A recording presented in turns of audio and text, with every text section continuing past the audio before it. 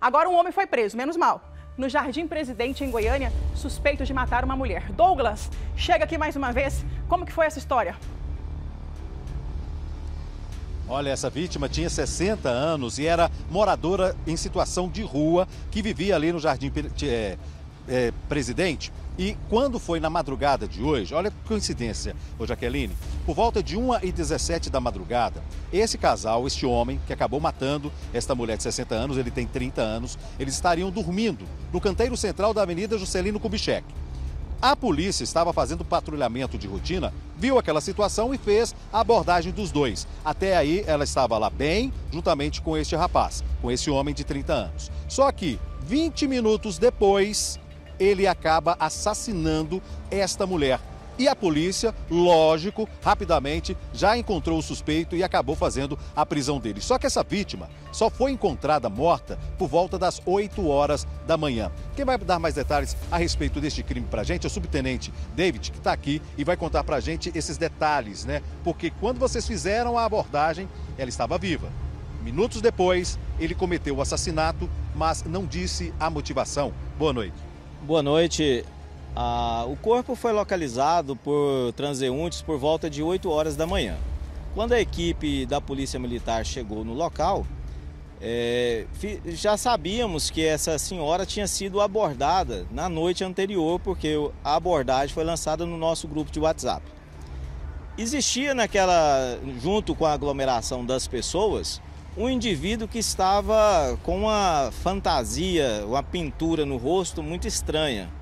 Esse indivíduo foi abordado pelo nosso serviço de inteligência e ele acabou entrando em contradição. E logo em seguida foi visto que é ele que estava na abordagem junto com ela naquele momento.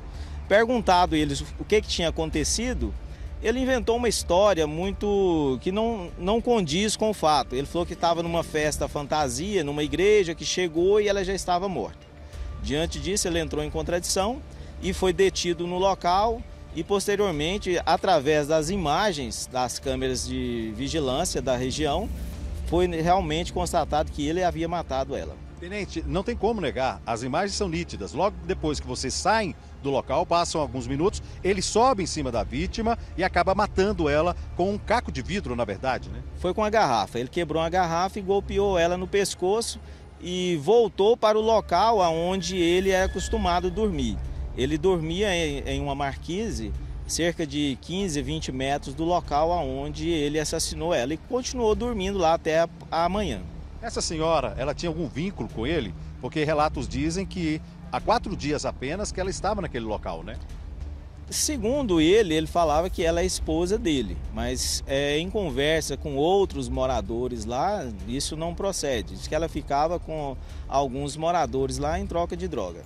Ele estava alterado, pelo menos olhando para ele, era uma pessoa que estaria drogada no momento? Dá para a gente ter essa noção? Ele admite que fez uso de crack juntamente com ela. E no momento da prisão dele, ele estava com a garrafa de bebida, de bebida alcoólica. Ok. Tenente, muito obrigado pela participação aqui. Agora fica um detalhe, viu, Jaqueline?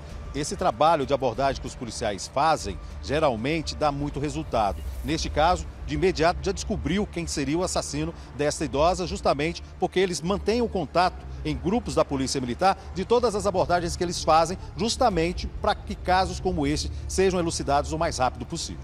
Muito obrigada, Douglas. Parabéns aí para a polícia por esse trabalho que fazem, né? Que os policiais fazem aí com os moradores de rua.